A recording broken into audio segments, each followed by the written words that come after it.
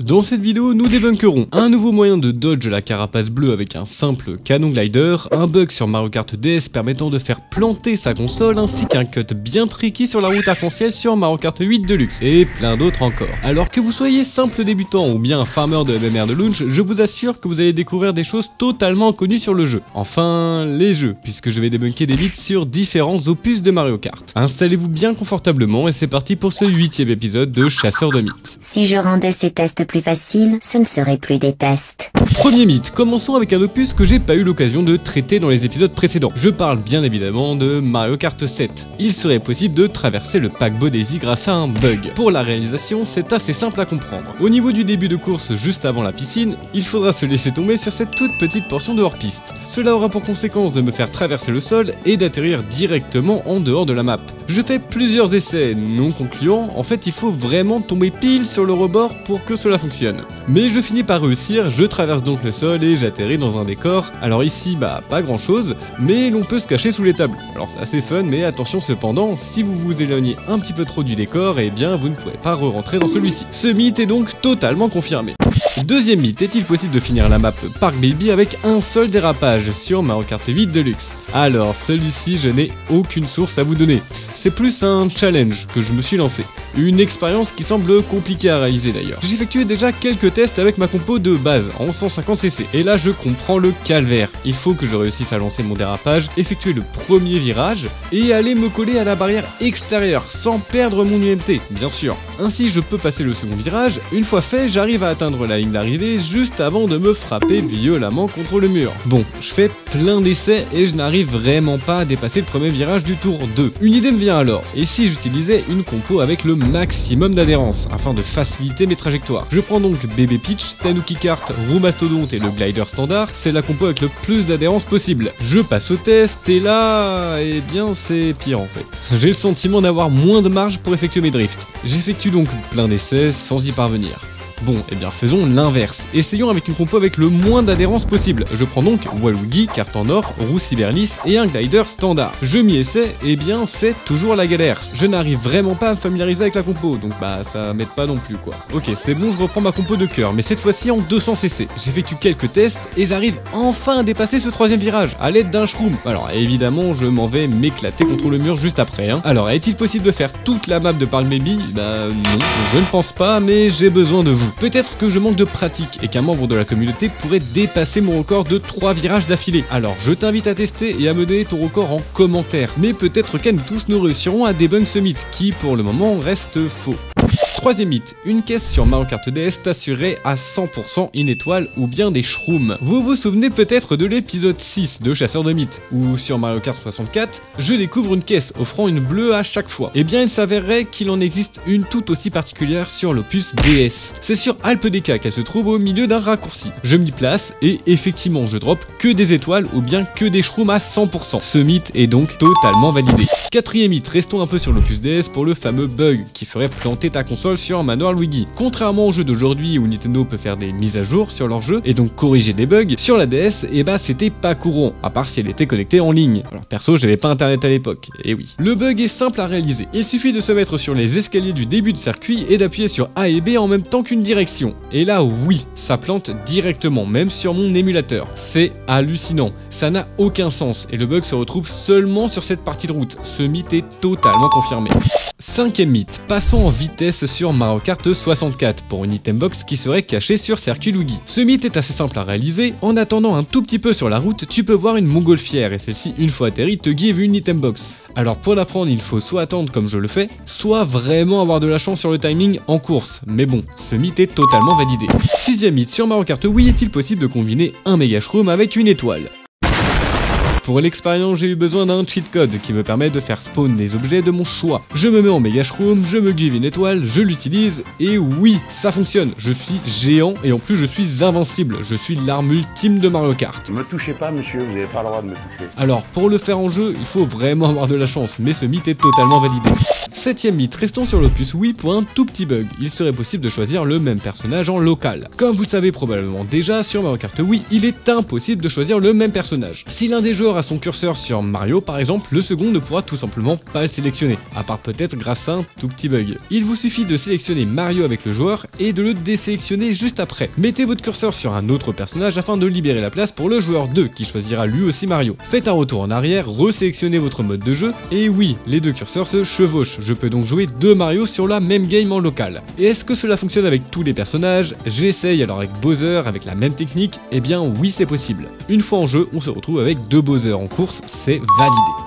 Huitième mythe, restons sur les bugs. Avec celui-ci, il serait possible de faire voler les joueurs sur Mario Kart 8 Deluxe. Je suis tombé sur ce short montrant ceci. Les bots utilisent une rampe invisible, ce qui les fait totalement voler à l'image. Je m'en vais tester cela. Déjà, il faut comprendre la théorie. Certaines maps de Mario Kart 8 évoluent au fur et à mesure des tours de circuit. Sur Calimari par exemple, une rampe apparaît au second tour, au niveau du passage à niveau. Donc théoriquement, si je me retrouve au premier tour et que j'attends que les bots arrivent à leur second tour de circuit, eh bien eux prendront la rampe, tandis que moi je resterai dans l'état initial, c'est-à-dire sans rampe, ce qui donne ceci un balai magnifique de bottes volant. Ce mythe requiert un petit peu de patience hein, en attendant que les bots fassent leur tour de circuit, mais c'est totalement validé. D'ailleurs j'en profite pour vous dire que si vous aimez les chasseurs de mythes, eh bien abonnez-vous, ça me soutient et vous pouvez aussi découvrir la communauté du Kofi, les annonces des prochains lives, Battle Royale de Yoshi ou bien même être au courant des prochains épisodes de chasseurs de mythes. Alors n'hésitez pas. 9 mythe, est-il possible d'atterrir sur le toit de Vallée des à l'aide d'un deltaplane sur Mario Kart 7 Je suis tombé sur cette vidéo montrant différents shortcuts, et celui-ci m'a particulièrement intrigué. Il serait possible d'effectuer un saut sur le toit et de réatterrir directement sur la route. Je passe au test, premier concluant, bon par contre je pars en hors-piste à la fin, il suffit juste d'incliner son stick vers le bas afin de prendre le max de hauteur, et là tu pourras effectuer un drift sur le toit, c'est totalement validé. Dixième mythe, restons sur le deltaplane de Mario Kart 7. Est-il possible de passer le gap de Gorge Champignon avec celui-ci? Le deltaplane de cet opus est super smooth. Il est maniable et tu peux le faire reprendre de la hauteur grâce à un shroom. Je passe au test, je monte sur le champignon bleu, je lance mon deltaplane et oui, je le réussis sans problème. C'est même euh, limite trop facile. Vraiment original comme moyen de faire ce gap, c'est validé. Je me rappelle d'ailleurs que cette route est disponible sur Mario Kart 8 Deluxe. Alors vous me voyez venir? Onzième mythe, est-il possible de passer le gap de gorge champignon à l'aide du deltaplane, cette fois-ci sur Mario Kart 8 Je n'en ai jamais entendu parler avant, donc je suis vraiment dans le flou pour ce mythe. Je procède déjà au test en 150cc. J'effectue mon trick et j'active le gyroscope pour avoir des trajectoires, vous savez, plus inclinées. Mais je n'y parviens pas, malgré mes nombreux essais. En fait, mon deltaplane perd de la hauteur et me fait atterrir au niveau des tout petits champignons, situés juste à gauche. Essayons de 200cc avec plus de vitesse. Peut-être que... non, toujours pas. Même en utilisant un cela ne fonctionne pas. Je ne perds pas espoir et je me donne toutes les chances de mon côté avec cette compo. Bowser, Chabriolet, Roue éponge et Deltaplane normal. Alors pourquoi?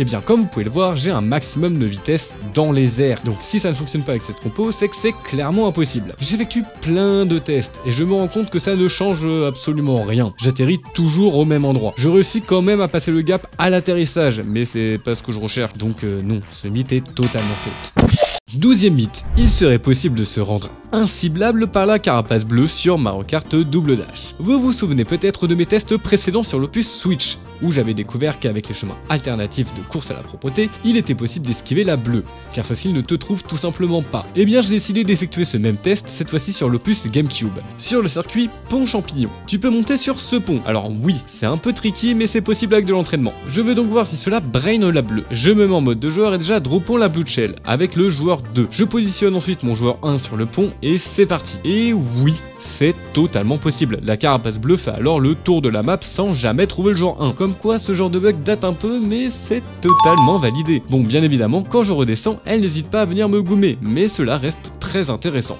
13ème mythe, restons sur les carapaces bleues avec cette fois-ci sur l'opus DS. Est-il possible de casser la blue shell à l'aide d'une bombe? Je me mets bombe à l'infini et je réussis à faire une safe state à un moment où l'un des bots me lance une carapace bleue. Et là je chain. J'essaye vraiment d'être précis sur mon lancer. Il faut que la bombe explose sur la carapace bleue. J'effectue plein, mais alors plein d'essais jusqu'à avoir le rush parfait. L'on voit clairement sur le second écran que l'explosion touche la carapace bleue, mais celle-ci n'explose pas. C'est donc totalement fake.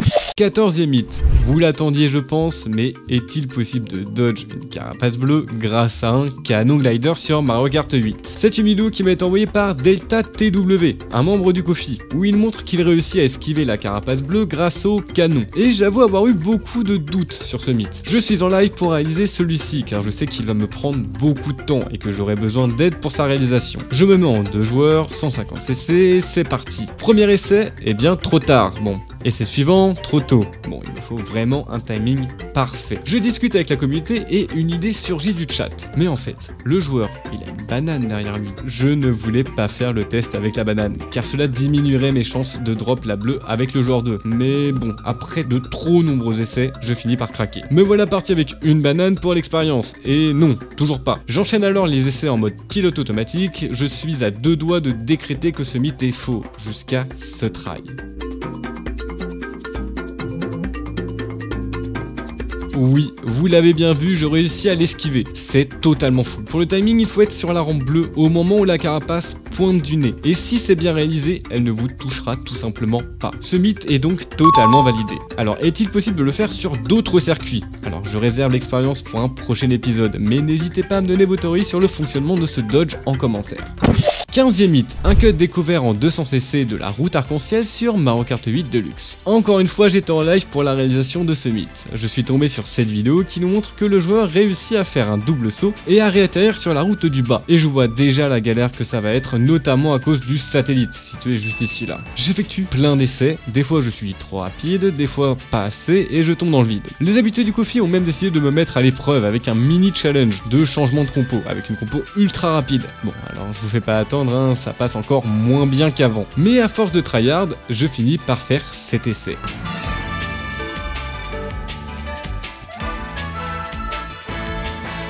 Oui, c'est totalement validé. Sachant que j'utilise un shroom alors que la vidéo source, lui, le fait en ISK. Hein. J'ai pas ton talent, hein, donc euh, restons sur ce try réussi. 16ème mythe, Nintendo a oublié de mettre un mur invisible dans New York, la map de Mario Kart 8. Cette vidéo que j'ai été vous dénicher est vraiment particulière. L'on peut voir le joueur s'élancer et montrer que Nintendo a oublié de mettre un mur invisible juste ici. Cela a pour conséquence de pouvoir se balader dans les décors. C'est parti, j'effectue les tests et c'est plutôt difficile en fait. C'est pas tant de traverser la barrière que d'atterrir dans la zone sans l'Akitu. Oui oui, toujours le même problème, l'Akitu me reprend directement. Je continue mes essais jusqu'à celui-ci, où en fait j'atterris bien plus loin que les tries précédents. Et il s'avère que Nintendo a oublié de mettre un mur invisible, mais aussi une zone l'Akitu. Je suis donc dans le décor. Alors attention toutefois car le moindre mouvement te fera l'Akitu raid. Hein. C'est donc totalement validé. Dernier mythe sur double dash, une route secrète se cacherait sur circuit Yoshi. Regarde, lorsque je me trouve juste ici, l'on peut voir au fond un tout petit bout de route. Pour l'atteindre, il me suffit d'utiliser un shroom au bon moment. Et oui, j'arrive dans ce tunnel avec des doubles caisses à la clé. Plutôt sympa, c'est validé. J'adore ce genre de route cachée. D'ailleurs, allons voir si sur Mario Kart 8, l'on peut l'apercevoir encore. Et non, Nintendo a mis des barrettes d'autoroute devant le cut. Et la visibilité est vraiment pas ouf. Je finis par trouver un angle intéressant, mais non, rien, même pas un mini easter. Dommage. La vidéo est sur le point de se terminer. Merci d'être encore là, j'espère qu'elle t'a plu, c'est aussi le premier épisode de Chasseur de Mythes qui n'est pas monté par mes soins, donc euh, gros merci au monteur qui me permet ainsi de faire grandir la chaîne et de vous apporter du contenu de qualité. N'hésitez pas à me rejoindre sur ma chaîne Twitch, vous pourrez aussi assister à des Chasseurs de Mythes en live, ou bien juste venir discuter et jouer tous ensemble. Merci à tous, et ne croyez pas tout ce que l'on peut voir sur internet.